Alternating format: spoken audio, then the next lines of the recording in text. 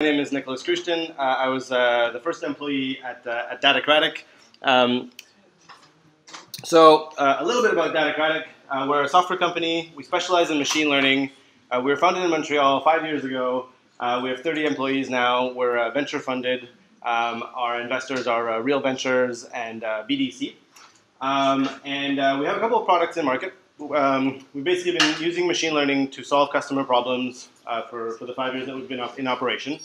Our two products right now, if you know anything about um, uh, digital marketing, so we do real-time bidding optimization and uh, audience optimization. So we do lookalike modeling uh, for some of the biggest uh, data management platforms in the world. Um, and these two products are basically black boxes, right? People send us data, we send out predictions, we do machine learning uh, inside the company. Uh, and our customers don't really know much about how the models work. They don't have a whole ton of control over how the model does, does what it does. Um, and uh, what I'm here to talk to you about today is our new product, which sort of is, it turns this on its head. It's a self-hosted machine learning database. We call it MLDB. Um, and it's basically, it's basically just what it says on the box. It's a database for doing machine learning. So I'm going to get to the agenda for this talk in just a second, but first I'm going to answer the question that's on sort of half of your tongues is just what the heck is a machine learning database? Um, I'm going to answer that question sort of by analogy. Um, so most databases that uh, everyone here is used to dealing with are basically designed to answer this kind of question. Select what happened from historical data, right? Most of the sort of big data analytic workload is counting things. How many tweets, how many dollars, how many ads, you know, group by, group by space, group by time, that sort of thing. This is basically uh, what, what this kind of system is designed to answer. Uh, MLDB is designed to answer queries like this.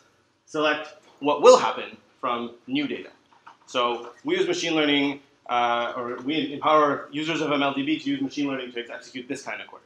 So I hope that gives a bit of a, a teaser for, for what we do. Um, so the agenda for this, uh, for this talk is, first of all, uh, I know some people here uh, already know a fair bit about machine learning, but I just want to do kind of a level set and uh, and give like a, a one slide overview of what machine learning is. Um, explain to you why we built uh, a database from scratch at Datacratic to solve this, uh, this kind of problem. Uh, cover the, the data model, uh, what kind of SQL support we have, and the REST API that MLDB exposes. Um, give you an overview of what it's like to build a machine learning application with MLDB. Talk to you about scaling. This is big data Montreal. We all, all want to know how big the data is. Um, and then time permitting and interest permitting, if I've lost you all, uh, we won't do a demo, but uh, I'm, I'm, happy to do a demo. Um, sounds good? Okay. So I've introduced myself. I'm going to ask you guys a couple questions to get a sense of like who's in the audience. So who here uses SQL at work on a regular basis? Okay. Who here uses machine learning at work on a regular basis? Okay. Who here uses Docker on a regular basis at work? Okay. Who here uses Hadoop on a regular basis? Awesome. Cool.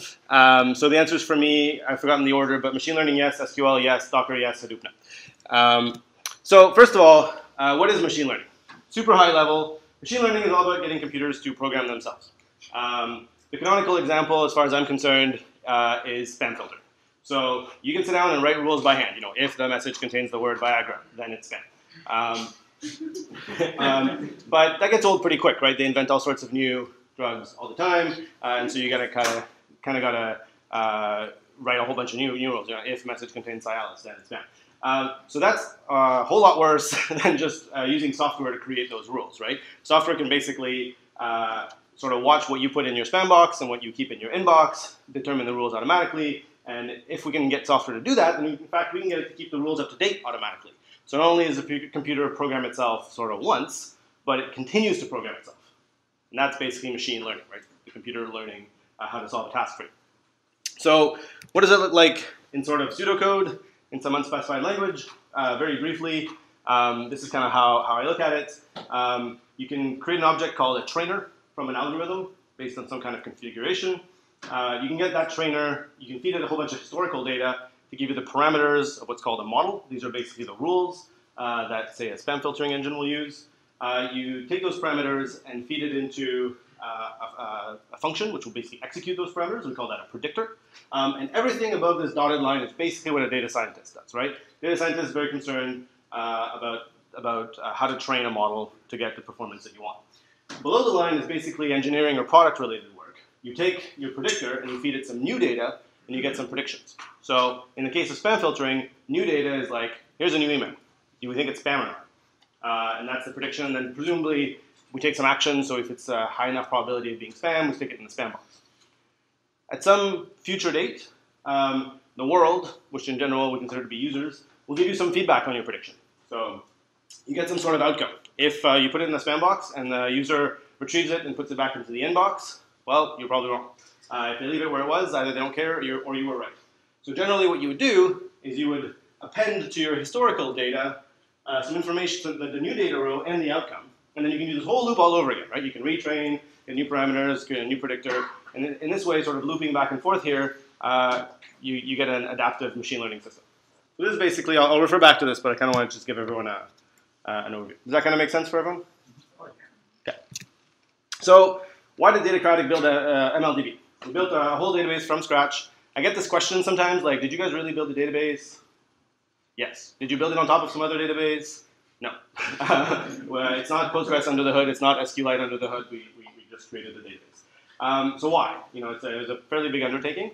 Um, the pain points that we kind of felt in a typical machine learning project are, first of all, you usually start with some data that was recorded for some other purpose, right? Someone basically says, okay, we have a whole bunch of data. It's here in this relational database, which we use to track transactions.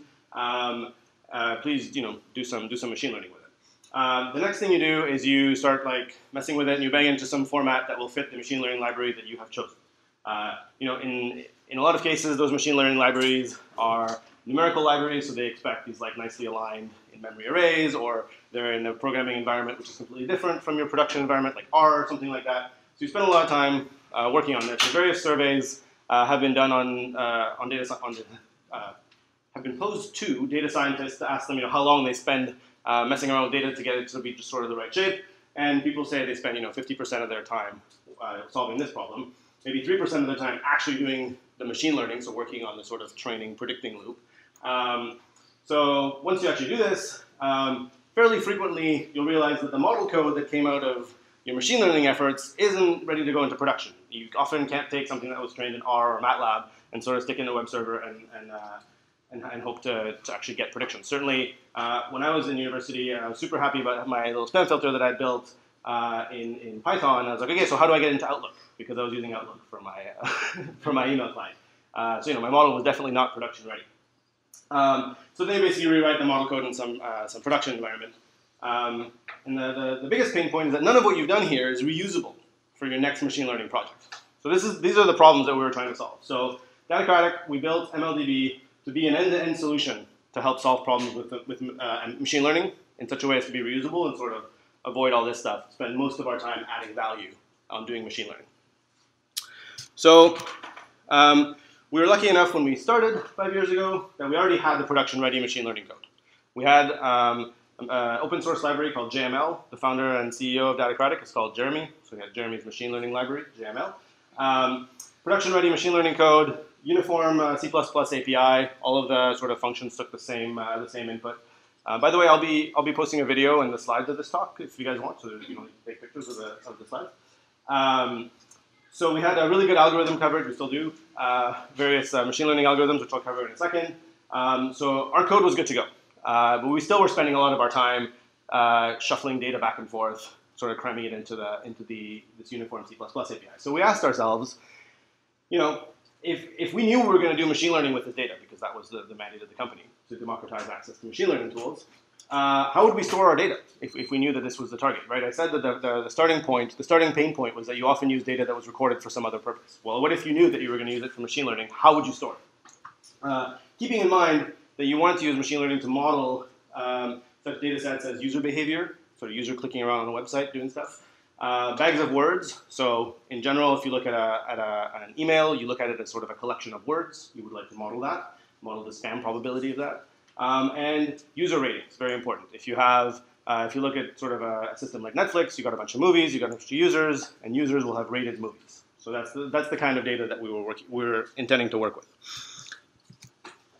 So the requirements that we had kind of come up with based on you know years of experience working with machine learning uh, were basically these. So one, you have to have a flexible, you have to, the, whatever storage mechanism we used had to have a flexible schema. Uh, sort of tautology, when you're learning, it means you don't already know everything ahead of time. So if you have a rigid schema and you already know what all the columns are, uh, you probably aren't doing a whole lot of learning because it's already fitting into some sort of structure that you've already designed. So we have to have a flexible schema. A pretty simple argument for that is if you're doing something like spam filtering, um, you know, new words come up all the time, right? Someone invented some new kind of enhancement drug. Uh, you got to have a column for that because otherwise, you know, how are, how are you going to be able to learn about that? Um, the second major requirement was that you had to have a very strong notion of time in, uh, in the actual data structure itself. There's a kind of saying in machine learning, you don't, you try your best not to use the, the future to predict the past. Uh, it's a very easy way to build a machine learning model that looks really, really great in the lab, it's got super performance, and then you put it out into production and it doesn't work at all. Why? Because you gave it um, information about uh, the outcome of events as well as the input, and then use that to predict what was going to happen. So it gets very good performance because it's essentially cheating. So in order to control very finely what information you, fit, you feed into a training system, uh, the actual data structure itself had to have a strong notion of time. Um, third, uh, whatever data structure we had had to have indexing built in. Uh, you often have to join outcomes to input long after the fact. So one of the first problems that, that we hit, um, and the last time someone from Datacratic was here at Big Data Montreal, we were telling you how we solved this problem, um, is basically uh, when you show online ads, often someone will purchase something up to 30 days later. And so you, you have a sort of a purchase event, and you got to look back 30 days to figure out, know, did I show an ad to this person? Um, without an index, that's going to be very costly, especially if you sell a lot of stuff, which is the goal. Um, and then finally, uh, matrix operations had to be cheap based on this data storage. So um, singular value decomposition is one of the algorithms we lean the most heavily on. Um, I don't have enough time to explain it here, but basically, if you have some very, very sparse data, uh, for example, you know, emails, there's lots of words, there's lots of emails, but most emails don't have most words in them. So by definition, that's sparse data. You're going to need to do some kind of dimensionality reduction, uh, which basically tends to be a matrix operation. So we needed to be able to do fast matrix operations on the data. So we left kind of a trail of uh, dead and broken technologies behind us on our quest to, uh, to figure out what the perfect data storage system was. Uh, certainly we started with flat files like everybody else. Uh, flat files are no help, right? I mean, there's no index, uh, there's no structure you, it's kind of the absolute basic thing you could do. So we certainly tried that to see if we if we weren't over engineering something, but uh, our code spent all of its time just scanning and scanning and scanning. Okay, so we found that. Um, we tried using HDF5, not HDFS, HDF5, uh, which is sort of a data storage um, backend for, for scientific computing. Uh, it was just too rigid, both on an API level and on a schema level. Um, we tried using SQLite for in-memory sort of uh, traditional relational. We tried using Postgres. It was okay for doing joins, but uh, it really failed on the flexible schema thing, right? We weren't able to, uh, to, to, to, model our data the way we wanted to.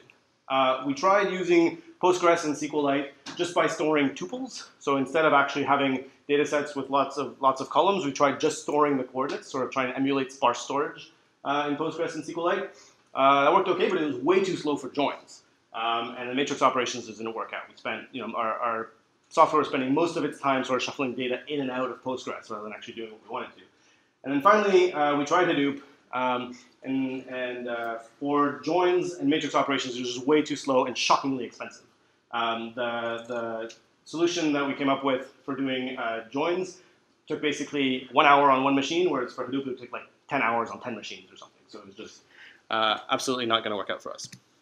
So the data model that we came up with at the end of the day is essentially a 3D sparse matrix.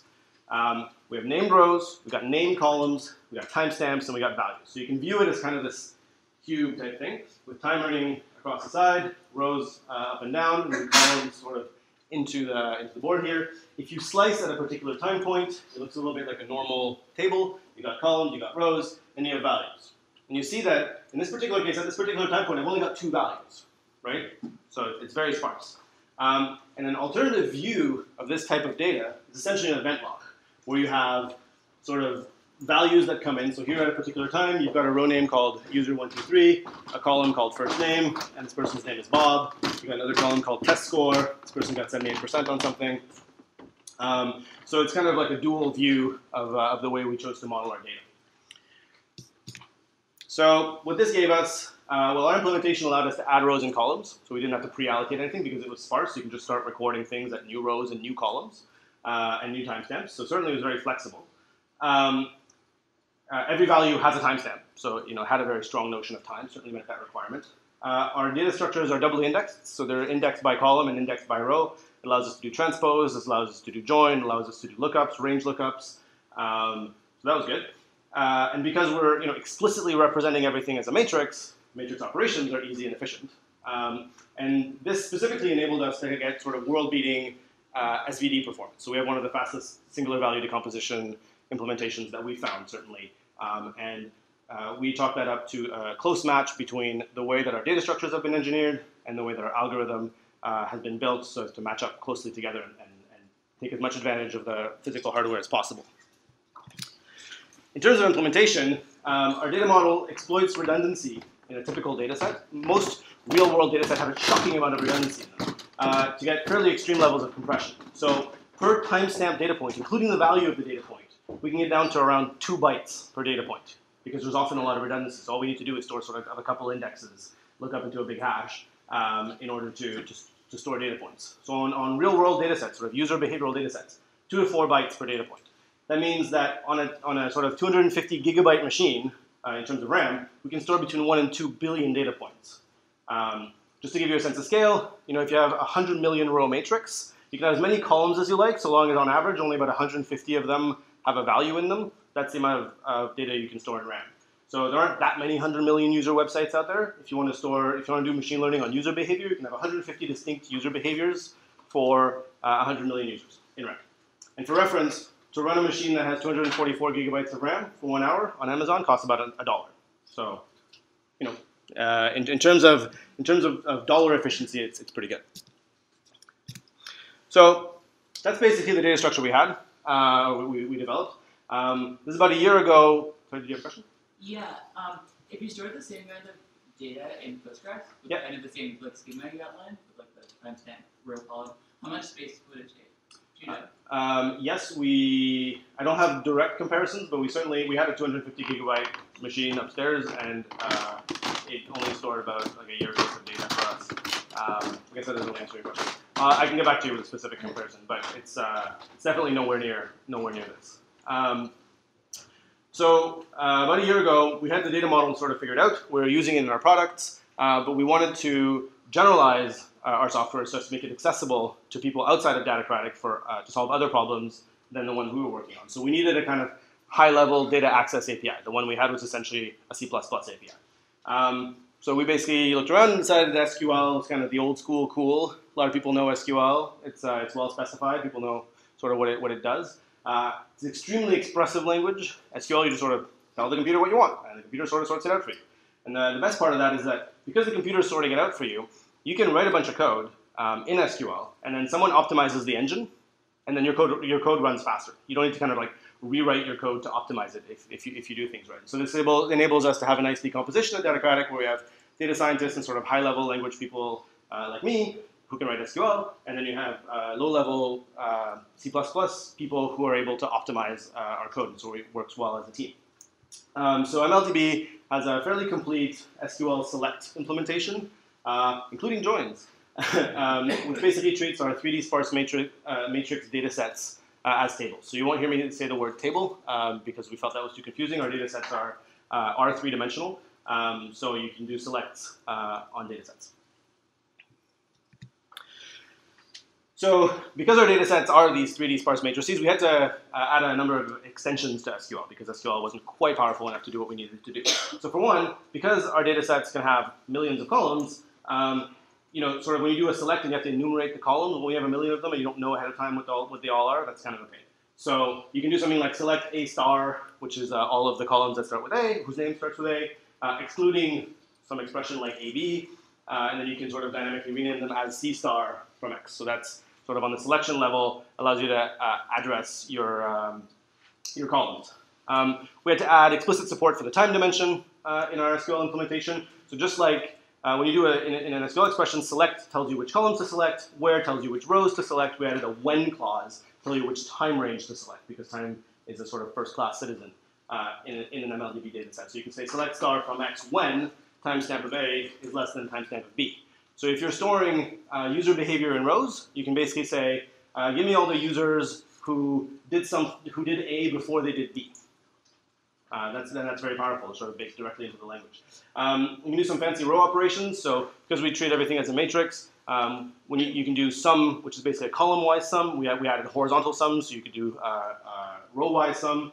You can do horizontal sum for all the rows that uh, whose name starts with A, and you can also tokenize text because uh, unlike normal SQL, you don't have to know ahead of time when you're either parsing or executing or writing the query uh, how many columns it's going to have. So here you can say tokenize text from X. If you had a column called text, which had a bunch of text in it, tokenizer by default I think works with space. Um, you would end up with one column per word in your uh, in your say email or something like that, and that enables you to very very quickly create a matrix which represents a bag of words, uh, which is excellent for feeding into an SVD and doing machine learning on the output. And then finally, we have some really fancy aggregates, like we essentially have a pivot table implementation directly in SQL, uh, which you can use to, to, if you have a data set which represents, say, the MovieLens data set, which is uh, user ID, movie ID, and a rating, you can select pivot movie ID rating from X group by user ID, and what, what that gives you is a giant matrix with user IDs down the, down the side, movie IDs across the top, and a sparse rating data set in the middle, which is basically the input you need uh, to build a movie recommender.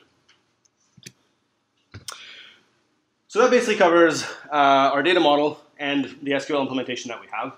Um, because you know we're kind of building a modern database, we want it to be super easy to, uh, to connect to and super easy to deploy. So MLDB is distributed as a Docker image. Uh, if you go to mldb.ai right now, you can sort of, you got Docker set up, and Docker run a couple special uh, parameters, and it'll just download and start running. Um, a Docker image, if you haven't played with it too much, is a little bit like a lightweight virtual machine. So you don't have to have a whole separate kernel. It's like a virtual machine that shares your kernel so I've been led to believe. Um, you, you launch MLDB with a Docker run command, and up comes the REST API, and that's it. You don't need to have a special binding. You don't need to have a special library. It's not ODBC or JDBC or anything like that. Um, you know, super modern, web native. You can access it from any language. You can access it from the shell if you want. You can play with Bash and curl um, and, and, play with MLDB. Um, if I have a data set that's already been created called X, I can post some rows to it. I'm going to post one row here. Row name is hello, and the columns are uh, column name C, value is world, and I'm going to give it a random timestamp here because every value is timestamped. And if I want to do a query, I just do get slash query question mark, and then here I go q equals MySQL, select hello from X, and here's my result set in JSON. So this is basically how you talk to MLDB, uh, just like a, a modern database should be. Questions so far? Pace is good? So I started out with basically this, this little bit of pseudocode to show you uh, what machine learning is. So now I'm going to show you how to do machine learning with MLDB. So uh, refresher from like 22 minutes ago, uh, you create a training object, you use that, you run that on some historical data, you get some parameters, you get a predictor, you get predictions, outcomes, and you store that.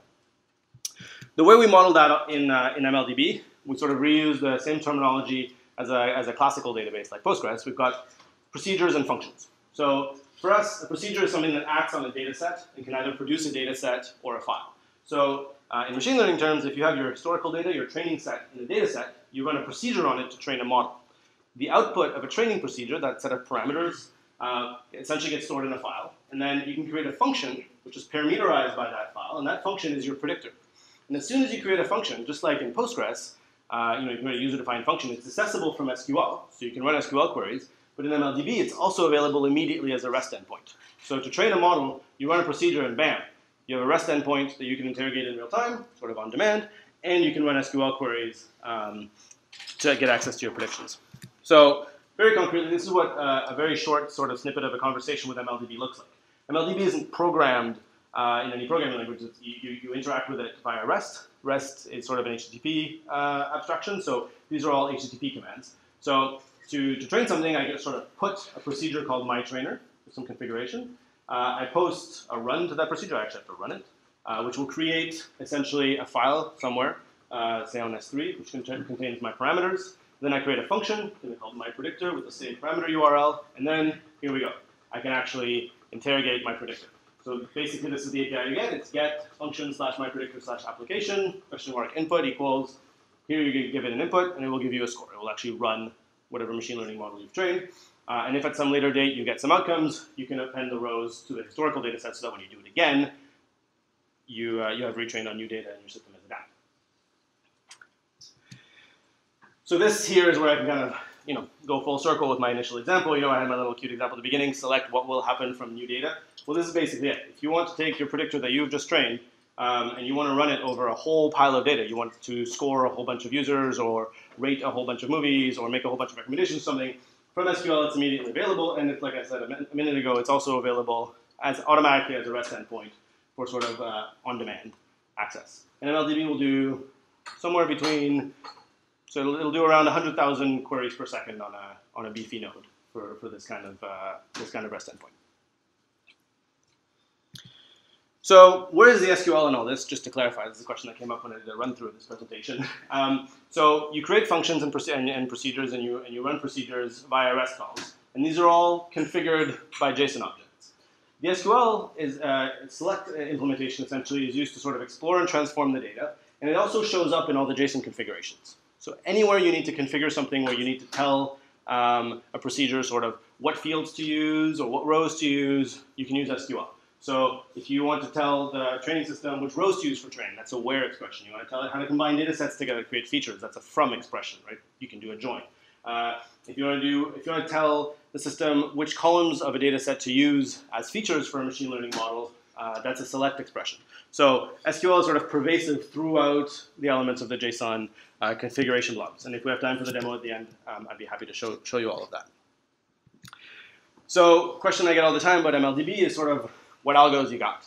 Um, so we have very efficient multi-threaded implementations of a whole pile of stuff. I'll go over it briefly. So for classifiers, we got all the basics. We got uh, generalized linear models, decision trees. Uh, as of recently, we have uh, support vector machines.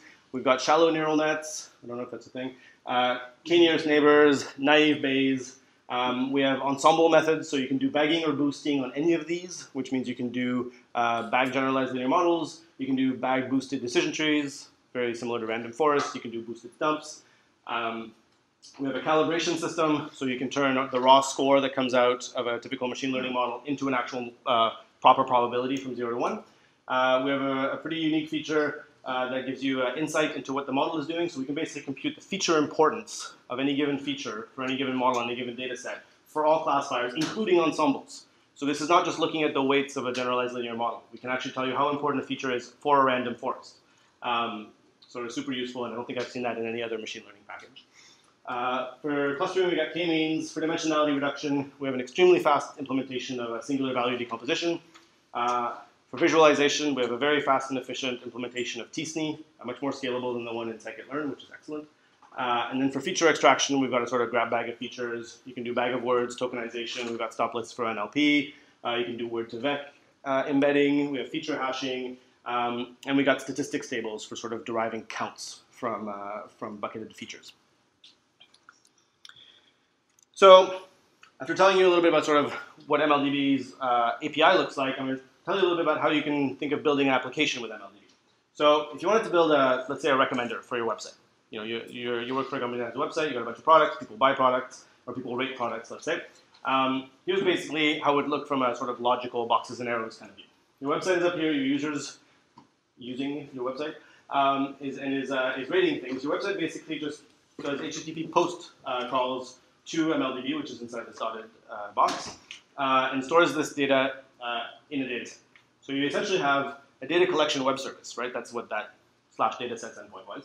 Um, so you're accumulating data there. Uh, however often you want to, you execute a procedure, which, which will train a model, and that model gets deployed as a function. And like we saw, a function immediately exposes a REST endpoint, so you have a recommender web service. So this is the way in which your website will interact with MLDB. It'll actually query the recommender web service for recommendations. And you know, if your recommendations are any good, actually pretty much if they're bad too, um, you know, your user will follow your recommendations and then actually maybe rate the, the movie or whatever um, and allow you to learn. So if you've made bad recommendations, hopefully that'll feedback. If you've made good recommendations, um, your, your model can actually learn that it's done a good job. So at a logical level, this is kind of how you get the machine learning loop running. At a physical level, um, uh, one thing which I haven't addressed is sort of the persistence model for, for MLDB, and as you can see in the middle here, the persistence model is essentially shared storage. So MLDB delegates the responsibility for, for, for persistence to whatever shared storage uh, you have configured it for, and that's on a dataset by dataset uh, basis. So if you choose to use S3, congratulations, you have an infinite disk with however many nines Amazon is promising you this week. Uh, if you're using HDFS, you have whatever it is that your HDFS team provides for you. Um, so the way that this would look like, essentially, data collection service, it's a web service. You throw a load balancer on there. You have however many nodes of MLDB you, you wish to run for data collection, and they're all persisting your data uh, in shared storage. Uh, for training, you have a, essentially a pool or a grid of uh, training nodes, however big you want to pay for, uh, that will do your training and store the, the resulting model um, specification files in your shared storage, which are then loaded by your scoring tier, however many uh, nodes you need to support the load of whatever application you have, just behind a load balancer. So on a physical level, this is kind of how it goes. Um, and then, 30 minutes. Um, and then uh, any data scientists you have on your team who want to load this uh, locally can sort of spin up however many nodes you want. Yes? How is the data stored in S3? The data is stored in this proprietary materialized 3D sparse matrix. Make sense? Okay, so each node will essentially uh, memory map a file locally, and whenever it, it uh, its internal timer tells it to go store uh, the, the data on S3, it will transfer it via S3's HTTP interface uh, over to S3. So the data collection essentially will just do that. But the, the uh, I interpreted your question to be what format it was, so it's in whatever, in, in this uh, proprietary format. Although I should add that MLDB supports sort of pluggable formats, so if you don't want to use our proprietary backend, you can store it in something less efficient like CSV or something like that if you like as well. Sorry, Nicolas, are you leveraging HDFS somehow if you store it on HDFS? We're just using it to store. Just to store? Okay. Yeah. So now for sort of the question that kills. Uh, you know, this is Big Data Montreal. How big? How does it scale? Uh, so I'm going to answer that question in three parts. Uh, part number one: uh, How does sort of the uh, what's the time and cost trade-off uh, as compared to the size of the training set? So here, um, you know, we when we when MLDB sort of first hit Hacker News, someone came and reached out to us and said, "Hey, said, hey, we have a, I have a benchmark that I run on a whole bunch of machine learning tools. Would you like to submit a benchmark for MLDB?" So we did. It's available right here. Uh, the basic results are for a random forest benchmark on a million uh, example uh, data set. MLDB is the fastest of any of the libraries that have been benchmarked. It's 50% faster than XGBoost. Uh, it's 10 times faster than Spark. It's 10 times faster than scikit-learn. Uh, it's 5 times faster than H2O on the same machine. This is an R3 8x large AWS instance. Um, if you wanted to do an SVD, a singular value decomposition, on a 2 gigabyte uh, sparse matrix, which is basically like late, late, latent semantic analysis, uh, we run 20 times faster and 100 times cheaper than Spark. So the, the basis for that claim is that uh, we can do this SVD in one minute on one machine, uh, whereas a Spark cluster of eight equivalent machines takes 17 minutes to do. So in terms of the raw sort of machine minutes takes, it takes to do to the SVD, 100, uh, 100 times cost advantage. In terms of scalability on the size of the training set, MLDB does all of its training on a single node at a time. So uh, the size of the training set is limited by RAM. My next slide is devoted to addressing this, so let me, let me get back to that. Uh, and in terms of the speed of scoring, MLDB can execute models depending on the kind of model you're doing and sort of how you're connecting to it at approximately 100 kqps uh, per node, depending on the details uh. So um, I didn't hear quite a, as much of a gasp as I thought I might, but you know, no distributed training, really. Um, so essentially, the return on investment for uh, distributed machine learning training is disastrous as compared to sampling uh, or using more RAM. So let me, let me kind of unpack that. Um, if, you, if you assume that you have like a really nice scalable system that takes twice as many computers to process uh, twice as big a data set, right? Essentially, to double the size of your, of your training set, you're spending twice as much money. Most curves that I've ever seen for the, the, the increase in performance for compared to the size of a training set, this is a, uh, this is a log scale, by the way, are not linear. So doubling the size of your training set nowhere near doubles the performance that you're getting out of your machine learning model. So if your machines are scaling linearly with your training set, and your costs are scaling linearly with your machines, and your performance improvement is not scaling linearly with your machines, then you know the more money you spend, the more money you're wasting essentially, because you're not making much more money for your investment. Um, so essentially, distributed training is not something that, for most real-world problems, we see as a necessity. The nice thing about this kind of curve, however, it means that if you're actually training on, say, something that's a half or a third or a tenth of your data, you're also not losing all that much performance. So uh, if you have a fixed amount of RAM, just sort of sample it down until it fits in RAM. Train it that way. And if you can actually build a serious business case for using uh, distributed training uh, on, on, this kind of problem, then, then please come talk to us. um, uh, the other thing you can do is you can just get more RAM, right? So today, the best kind of machine you can get, as far as we're concerned, is a R3 8X large. It's got 244 gigs of RAM, which sounded like a lot, you know, last year. Um, but next year, Amazon is releasing the X series, which is two terabytes of RAM, right? So when I said you can store between one and two billion data points uh, on the biggest machine on Amazon, uh, well, soon you'll be able to score to store, you know, between 16 and 32 billion data points uh, on, on a single machine. So, um, you know, yes, we don't do distributed. I guess no, we don't do distributed training, but we don't see that as a, as a drawback. We see that as a massive ROI advantage. Um, so this, this guy, I don't really know who it is, but Gary Bernhardt kind of tweeted a little sarcastically, you know, consulting service. You bring your data big problems to me. I say your data fits in RAM, and then you pay me ten thousand dollars for having saved you five hundred thousand dollars. So it's probably a little sarcastic for a lot of big data problems. There are situations in which distributed computing makes a lot of sense. If you have a lot of things that need to be counted, that's a trivially parallelizable problem. You go, you you Hadoop the snot out of that thing, right? Um, machine learning is not that kind of problem. In order to do uh, to, to, to, get a lot of performance out of machine learning, you need to capture the interactions between different data points, which means you can't just sort of split your data, stick it on different nodes, and, and hope for the best. Uh, I've linked to a nice blog post here, uh, which basically kind of does a survey of a bunch of different uh, machine learning experts, all, all kind of concluding the same thing: that distributed machine learning not really not really very worth it. In fact, we've got John Langford, the author of uh, Vowpal Wabbit, who, kind of actually show, uh, explains why sometimes when you actually distribute a computation, it costs more because you've distributed it. Uh, it's not much faster, and sometimes it's even slower. And depending on the algorithm you, you've used, you actually get worse performance than if you just waited a little longer because of the way you've sharded your data and, uh, and are recombining the weights afterwards. Uh, the different learners on the different nodes haven't all seen the same amount of data, so you're actually losing performance. So, you know, sometimes you say like faster, cheaper, better, pick two. Well, with distributed machine learning training, it kind of seems like faster, cheaper, better, pick none. right? doesn't seem very good. Um, so that's kind of the scaling story uh, for MLDB. Um, and that basically wraps up my presentation. Um, I feel like we've got time for a demo. Uh, let me just run through the slide. I'll take questions and then I'll do a demo. Does that sound good? So uh, open source release is coming soon. I glossed over the license because no one asked me. Um, but uh, today we have essentially a non-commercial free trial of MLDB that you can run. It's distributed as a, as a big binary Docker image. Um, we will be open sourcing the core of MLDB, and our business model is basically to sell high-performance plugins, um, notably the sparse 3D uh, matrix storage engine. Um, but you can trial all the features right now for free at mldb.ai. We've got some cool demos. Uh, would love your feedback. All the feedback goes to me and uh, the members of my team who are here, um, and we will answer you and help you help you use it. You're in Montreal. We're in Montreal. Let, us let's, uh, let's work together. Um, it runs on Linux with Docker. It runs on uh, AWS. We've got a prepackaged AMI, so you don't, you don't, even need to do anything. You just sort of click, give uh, Amazon your credit card details, and hit go. Um, we don't we don't see a dime, unfortunately. We're working on that. Um, you've got a virtual machine that you can run on VirtualBox on your Mac or Windows. You won't have as many cores, you won't have as much RAM, but you can still use MLDB. Um, and then uh, just because it's a question I get all the time, how do I get started? Well, you can load your data either from a file, like a CSV, uh, like I'm going to do in the demo in a second, or uh, you can sort of row by row uh, with HTTP, HTTP post, much like the way uh, with SQL you would sort of do repeated inserts to get your data. So loading it from a file is a little bit like a copy command um, in a traditional database and row by row posts are a little bit like insert commands in a traditional database. So I would be happy to answer any questions. Sure.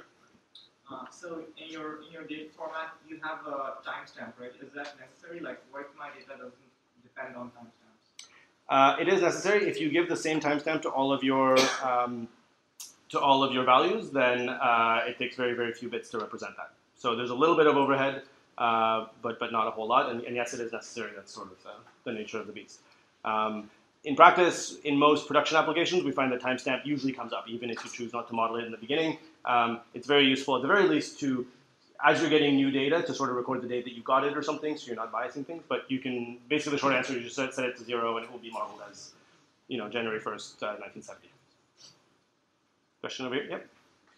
Yes, uh, why did you look for uh, flexible versus non-flexible schema? Like I saw it like in the in the slide in the beginning. You were looking for like uh, rigid versus not rigid. So we, we were looking for a flexible schema. Yeah, why is that? Um, so for example, the, the, the way that we build the matrices that go into most of our uh, most of our machine learning algorithms, um, you essentially end up having one column per I don't know what to call it per element or per per uh, per value and you essentially represent things as a, as a big uh, sparse matrix. So for example, if you want to think of your matrix being uh, each row is a user and each column is a movie, well, if you have a fixed schema, then you can't add movies. A new movie comes out, there's just you can't you can't represent that movie. So having a flexible schema and having sort of being able to add columns on the fly to your to your matrix is very very important. That's one of the biggest limitations for using um, something like like uh, SciPy or scikit-learn is when you create um, an ND array, it's very hard to resize it. You can't just sort of stick a column on the end. You lose all the all the uh, all the event. Does that make sense? So, And, so and when you do it, yeah, you don't have this, this value. I'm sorry. What and what, what if you get like the you're processing the old value and you don't have like a result for that, you just ignore it and for the story. Um, yeah. So uh, you mean what if we, what if we don't have outcomes for any of the new values? In general, we wouldn't do training on on on data that doesn't have an outcome associated, so it would not go into the training system. And you could use the SQL expression to filter that out. Does that answer your question? Yeah. Okay. Any Francis? J'ai- J'ai j'ai deux questions. Je suis pas sûr de comprendre le license model. I mean, if I'm using it to play, I mean, it's free, but let's say I want to put this in production for one of my clients. How does that work? And the second one is, you know, in Python there's pandas, which is optimal for time series. So have you explored that to basically store your data? And I mean, what's Sure, so- yeah. On the license, um, when you download it, when you download MLDB to play with it, you uh, you are required to sort of check through the end user license agreement, which prom- which makes you promise that you're not going to use it to make any money. Um, so you're contractually bound with us to, to not make any money with the trial version, and if you would like to buy a license from us, we will happily sell you one. Um, is, But- is the short answer? basis of the license model? Like to get a big picture, because I mean, if I want to use it, I, I need to know. So what, what, what's the pricing scheme like? Yeah. So the pricing scheme is essentially, um, first of all, we're, we're sort of you know looking for looking for customers for this product. So we're more than happy to discuss a pricing scheme which will work for you. Uh, the basic hypothesis we have is that we're either going to price it on a per core, per machine, or per query basis, whatever makes sense for you. So we don't want to find something that doesn't make sense for your business model. Um, Okay. we, we need to find something that works for both of us. Uh, so the, you know the answer is sort of call sales, and we'll we'll talk to you. Um, uh, with respect to Pandas. Um, I mean, Pandas essentially uh, holds all your data in RAM on the node, um, a little bit like MLDB, but doesn't have a sort. It's not memory mapped to uh, to a persisted storage, um, and it's not sort of running on a separate process somewhere. So um, Pandas is not particularly good for dealing with uh, the types of data that, that we work with. Um, I'm trying to answer. I, I guess I haven't found it to be that great for time series data uh, in, in general, and certainly not very good for sparse data. Um, I don't know if you've ever tried to store a million column uh, sparse pandas data frame. It just sort of tips over after a while. Very good point. Yeah. Thanks. Uh, yeah. Um, is it going to be easy in the open source release to edit that model code? Um, short answer is no. If that's something that's important to you, I'd really be interested in, in discussing it. Right now, the model uh, the models are uh, essentially serialized binary, so they're, they're, they're fairly opaque. You can you can uh, you can re- deserialize them and reserialize them as JSON to inspect them, but we don't have a write through. You can't like go edit the weights, so it'll get stored as binary Oh, because it's efficient, and you can you can kind of inspect it. You can get it out as JSON, but you can't edit back in. Uh, but if you'd like to do that, I, mean the model generation. I'm sorry. Yeah, I mean like the code to make on Oh, uh, that's already open source. Uh, it's it's, uh, JML, so uh, github.com slash datacratic slash JML. You can go look at it. Yep.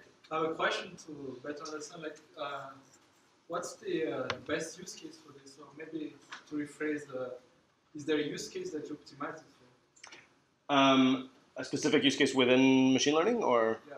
um, so this this is the technology that we run inside our real-time bidding optimization audience uh, modeling products. So advertising is a little bit domain specific. What it's it's very optimal for essentially sparse data sets. It turns out that user behavioral data sets are very sparse. So if you have a bunch of web pages and a bunch of users, most users don't visit most web pages. Uh, so that data set tends to be sparse. So if you want to do recommendations of things for which you have uh, sparse data, it's very good.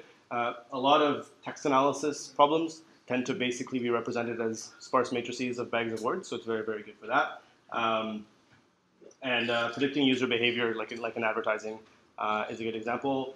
Um, you know, fraud detection, Internet of Things sort of data coming in from devices, any kind of event log data that you want to do predictions on, MLDB uh, is a very good fit for.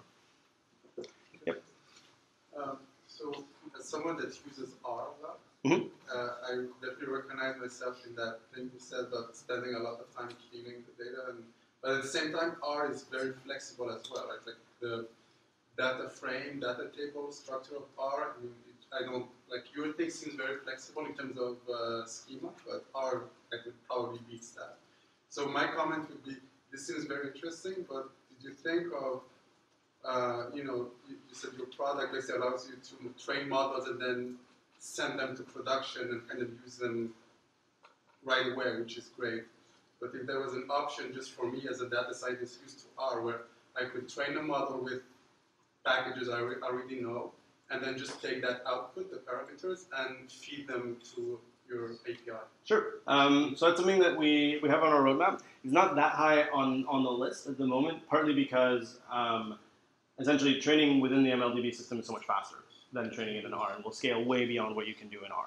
Um, because we, we can essentially address way more memory, um, and we represent things a little bit better than the way uh, R does it uh, in memory. So for the scale of problems that, that we deal with, when you're uh, you know when you have a 250 gig sparse matrix, I mean you just can't do that in R. Um, if you want to do run an SVD on, on that, I, I haven't been able to do it.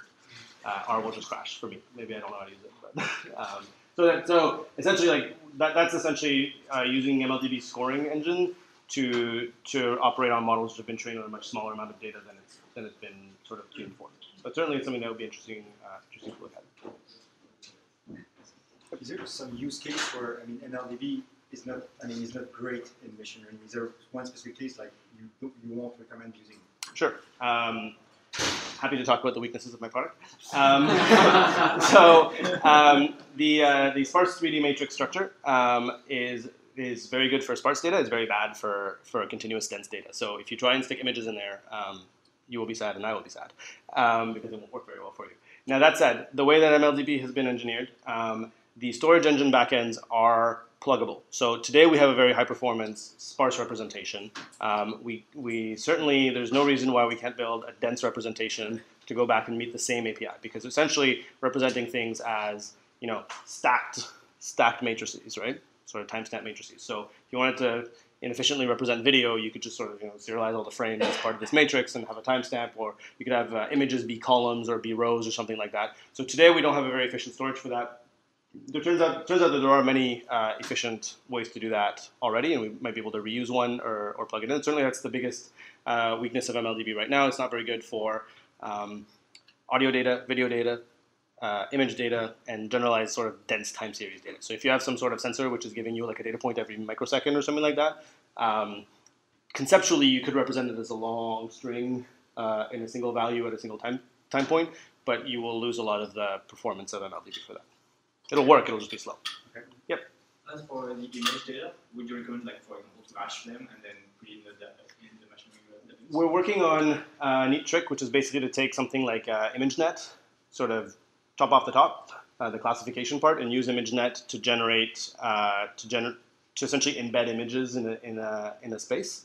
So to compress images down from however many you know megapixels they are down to a, a much smaller vector, uh, and then do machine learning on that. Much like you could, uh, we already have support for, for word2vec. So if you have a document, you can you can embed that in a, in a smaller space. So we'll probably uh, build a similar plugin from LDB that allows you to do that trick on images and essentially dodge the curse of dimensionality by using uh, deep uh, a deep net that someone else has trained and, and sort of given away for free. Do you have, a, like, um, a deadline for that? Uh, not not particularly, but if you are interested in that, come talk to me and we can talk. Um, it's, not, it's not that difficult, but uh, it's just not, something that we've uh, we've put a lot of effort in because it's not something we're hearing from our customers. But if you would like to become one of our customers, we'd be happy to prioritize that for you. Yep. Is there a simple Sorry, one second. Stay in front of you. So I'm, I'm trying to. Uh, so if I understood correctly, the main requirement is that your data, data set fits in RAM, right? um, that a a sufficiently representative subsample of your data set fits into RAM. So eh, let's say a hypothetical example that I have two huge online stores, Sure. and each of them has its own user base, and I want to have basically recommendation engine for each of them. Yeah. Uh, does it mean that uh, it's all stored in, let's say, in S3 and only accessed when needed? When let's say I want to do some calculations for store one, and then later on for store two. Yes. It means that only the data for store one need to be in the memory at the given point in time. Yes. So that means that anything that is stored is kind of smoked out, and I, I can use it later on. Exactly. In fact, we we're even a little bit more brutal than that. We just kill the machine. So we turn on we turn on a machine, we spin up an AMI, have it load the data it needs, run the training, and then shut it down. We don't even swap it out, and we don't bother. We Ah, just okay, turn it off and turn on another machine some other day. But essentially, that's uh, Yeah. the, the same thing, right? Exactly. So you can you can actually store way more data in MLDB. I mean, in MLDB, MLDB is sort of the the the, the it passes through MLDB to the underlying store, and S3 is essentially an infinite disk. So how much data can you store in there? Well, how much data are you willing to pay Amazon for? Uh, then you load up some subset of that into memory to do training. Whatever subset it is that you're loading for training must fit into the RAM of whatever node you're using. So if you own your own servers and you have a four terabyte server, uh, and you have the HDFS behind it to, to store the data, that's awesome. On Amazon today, it's going to be 250 gigs, and next year it'll be two terabytes. So that also implies that uh, the more data sets I want to query concurrently, the more I have to pay basically for MLDB license. That, that does seem to follow, yes. Surprisingly for us. uh, yeah. Yeah, I'm, I'm a huge fan of IPython notebook Yep. to do data exploration. So is there a way of using that? Yep. So um, if you guys are still with me and you want to you want to see a demo, I'm, I'm happy to show you. Yeah. You guys are up for the demo? Okay. I will answer your question with a demo. Thanks. Thank you.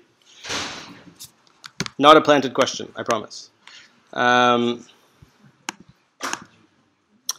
so, is this up? Please be up. Okay, so MLDB doesn't have a UI per se. This is basically the only UI you get, mostly just allows you to, to list the data sets, procedures, and functions. So when you first connect to MLDB, this is what you get. It's running on the famous uh, R3 8x large. Uh, within MLDB, because it's a, essentially a Docker image which has a bunch of stuff inside it and exposes a REST uh, uh, API, we've reserved uh, part of the address space for uh, IPython Notebook. So IPython Notebook comes with MLDB. You don't need to learn how to install it. You don't need to mess with it. Uh, we stuck our own logo in the corner, but I mean, it's Jupyter. Uh, the demo I'm going to show you um, is not going to be a particularly big data demo just because uh, those are boring to watch. Uh, fast as MLDB is, you know, that's just kind of how it is. Um, so the demo I'm going to show you uh, is the rather well-known uh, Titanic survival prediction challenge from Kaggle. Who here has, is aware of this uh, classification task? Okay, so in a nutshell, uh, there was a Titanic, it ran into an iceberg. Some of the people who were on the boat died. Um, the idea is to take a data set which lists a whole bunch of those uh, of the passengers of the Titanic and some information about them, and we have uh, information about who, who survived and who didn't. And uh, we have to train a model to looking only at the features uh, that were known when they got on board, um, what, to predict whether or not they would have survived the disaster. so I didn't I didn't make this up. This is kind of a um, is that good? Okay, so um, this is uh, IPython Notebook. Who here has worked with Jupyter or IPython Notebook before? Okay, so every little gray box here contains some code. I've already executed the whole thing, so I'm just going to sort of scroll through, but this is all Python code. Um, I'll put a big uh, asterisk here. Uh, you don't have to use Python to use MLDB. I just happen to have used this because it's easy to package. You can talk to MLDB from R, from the shell, from whatever you want. Um, so I'm loading up uh, this uh, handy Python library that we did write called PyMLDB, which is a very thin wrapper around the Python request library. So it's just a way to make HTTP calls and display the JSON output in a nice way. There's no magic under the hood. You can do this all without PyMLDB if you want. So the Titanic dataset, this is basically what it looks like to load a dataset into MLDB. Um, this is the way it's been specified in Python, but ultimately all I did was I did a put on uh, the datasets endpoint. I put a dataset called Titanic Raw, and I told it it was going to be a CSV file, and it should get it from this URL. Um, so that's what it did. And it didn't skip any lines due to problems, and it loaded 891 lines, and it was reasonably quick. So looking at the data, um, this is basically how you do a query. mldb.query, select star from Titanic Raw limit 5. Should be pretty familiar to anybody who speaks SQL. Uh, the output of this query call from PyMLDB conveniently is a pandas data frame. So it just displays right away because IPython Notebook will display the pandas data frame. So there's a little bit of magic under the hood, but it looks like you know you query it and it displays it for you. Um, open source is awesome. So here we've got uh, for each row here is a passenger. We've got the age, the cabin number, uh, not for everyone obviously. Uh, the their port of embarkation because the Titanic stopped a couple times before it ran into an iceberg. Um, how much they paid for their ticket, uh, their name, uh, some kind of cryptic stuff like parch, which is the number of parents or children that was with the passenger. Uh, P class is their passenger class, so first class, second class, third class. Uh, sex, SIBSPA, which is uh, whether they had any spouses or siblings with them. Uh, their ticket number, and the label, which is whether or not they survived. So um, MLDB allows you to sort of train and test classifiers in separate steps, but training and testing a classifier is something that people do frequently enough that we have a special experiment system for that. So we're basically going to run an experiment uh, on this data set.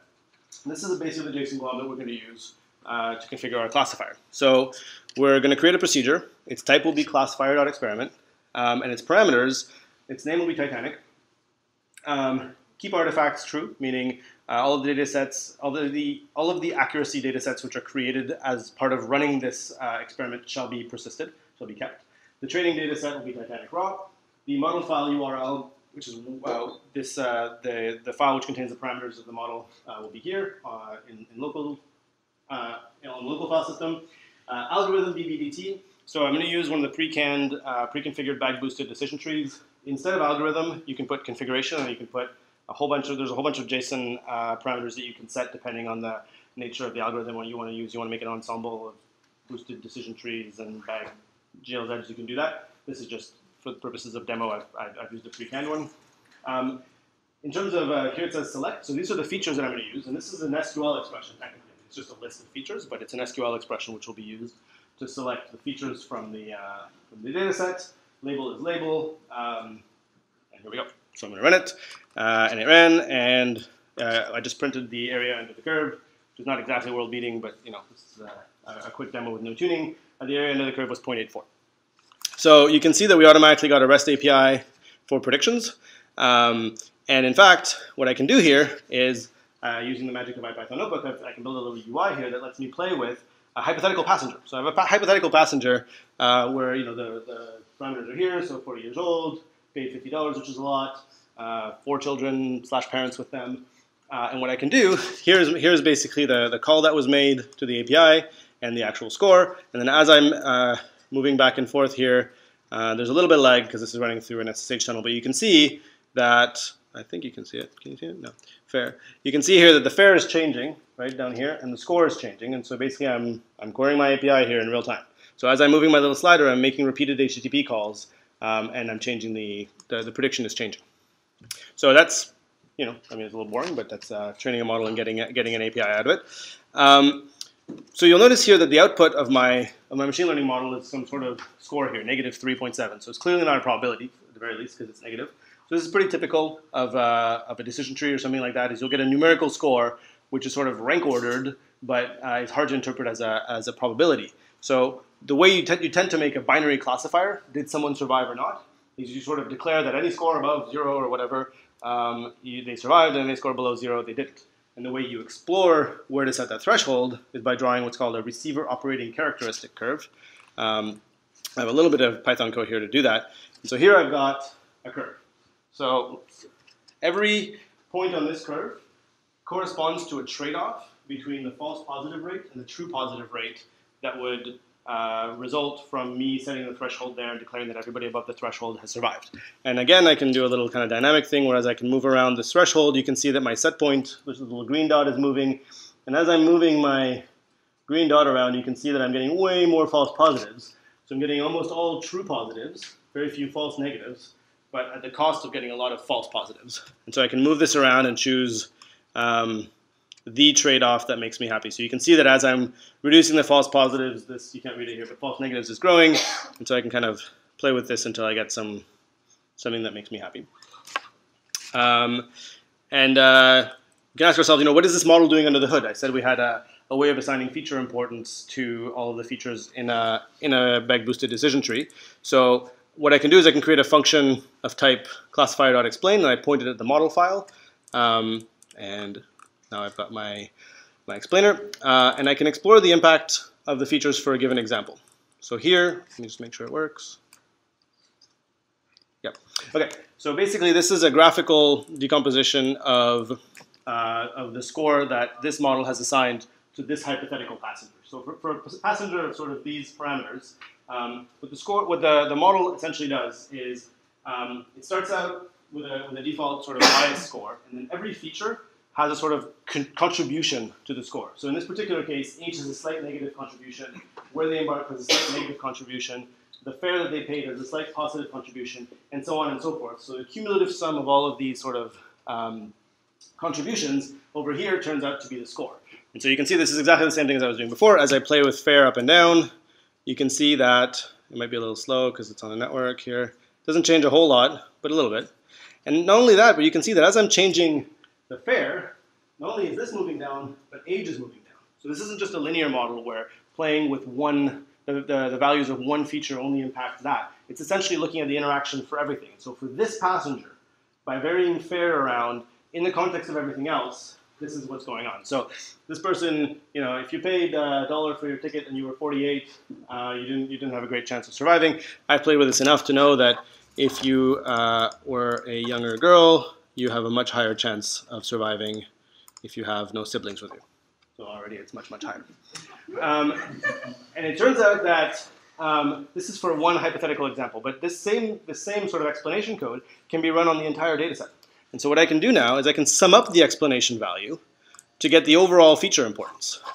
So now what I've done here is I've, I've, uh, I've essentially run the explainer on the training, uh, on the testing set with the labels. And so I'm summing up the contribution of every feature towards predicting, predicting the correct label. And so here you can see that the sex is, uh, is uh, the most important characteristics, uh, followed by age, fare, uh, their passenger class, um, and how many siblings they had with them. And because of the magic of SQL, I'm pretty sure this still works, I can do this. I can say group by label. Um, and you can see now that the legend has disappeared. Just to prove to you guys this is not pre-canon, it's actually a live demo, it's very dangerous for me. Uh, you can see that here, uh, green will be the people who survived, and blue will be the people who didn't survive. And so you can see that the different features are contributing differently for the different classes. So sex is a very important feature for correcting, correctly predicting survival. Slightly less important for correctly predicting uh, non-survival. Um, but it, um, the number of parents and children they had with, uh, with them actually was not helpful for predicting survival. A little bit helpful for predicting uh, non-survival. Um, so this is kind of a bit of a demo of the, the insights feature that we have. Uh, and it works equally well with ensembles, linear models, decision trees. It can also be used, instead of splitting here by, by class, I can split by test versus train. So if you have a feature that's very helpful in training very unhelpful in testing, then you have a biased feature, and this will help you detect that graphically very, very quickly. Uh, not only that, but you can use this to build a sort of online checker. So you can uh, run this on your testing set and get a particular graph, and then as you're running new predictions through it, if it turns out that the importance that the model is assigning to your examples live um, as, you, as you're accumulating the outcomes is changing, then you know that something has changed in your population such that your model no longer correctly represents it. Do you do that? Uh, we do not do that at the moment, but you could. Uh, do you have any benchmark uh, regarding the training time of your data set? I mean, it's probably changing if the data set is larger. But Yep, so the, the, the benchmark that I've got or that data plan, just a, a ballpark of how much time it can take to train. Uh, so for the for, for training a um, a hundred tree random forest with depth 20 on a hundred million categorical and numerical examples on a 32 core machine takes 20 seconds. Uh, you gotta specify, right? But uh, so the benchmark that I, that I use, uh, I, I, I, I encourage you to, to check it here. It's um, does that work? Come on. Do you use graphic cards? Uh, no. No, we don't. So here's basically, um, these are the results for some well-known open source libraries on this particular benchmark. Uh, so 200 seconds for, for scikit-learn, 130 for H2O, 30 for XGBoost, and 250 for Spark MLlib. Uh, the same the same problem, uh, MLDB benchmarks at 20 seconds. So it gives you a sort of relative order of magnitude. Um, and we scale we scale uh, uh, very competitively with those. So we, we remain under the curve uh, as this scales to 10, 20, 30, 40 million. Um, Can you get into a situation where you cannot train your, your data set? uh, Sure, if it- is not- so how do you? if it's too big, it will it will run out of memory. Uh, then then we recommend that you sample. Uh, and depending on the uh, relative uh, prevalence of the two classes, you can instead of sampling sort of absolutely randomly, you can sort of sample the most prevalent classes the most. So if you know that you have only one out of every million examples is a positive one, you can sort of, you know, take all of your positive examples and a, and a sufficiently uniform sample of your of your uh, negative examples, and then use the explain feature at the end to see whether or not you've biased um, by doing that. Yep. So great presentation about the IPython notebooks. I'm just wondering, in the machine learning uh, community, like most of the people just talk about deep learning. So can I do it with MLDB? Um, MLDB does not have any feature for any features for deep convolutional or recurrent uh, neural networks. That said, um, we do have uh, support for uh, vector space embedding via the SVD, and we can leverage uh, models that other people have trained for us using deep learning techniques like Word2Vec and, uh, and eventually ImageNet for, uh, for images. Um, ultimately, deep learning is, a, is fairly tricky use, you know, it's fairly expensive. The ROI is doubtful. Um, may or may not require sort of specialized hardware, a vast amounts of data, and an army of data scientists to, to use effectively. So um, we generally focus on sort of uh, smart feature engineering um, and, and, using sort of simpler models like SVDs and, uh, and, and random forests for classification. Thanks. Uh, I'll be here until they kick me out. I've got stickers that say Datacratic on them if you guys want them. I've got some team members, um, and I'm happy to just demo more stuff until my voice runs out. So thank you very much for listening. I realize it was a long time.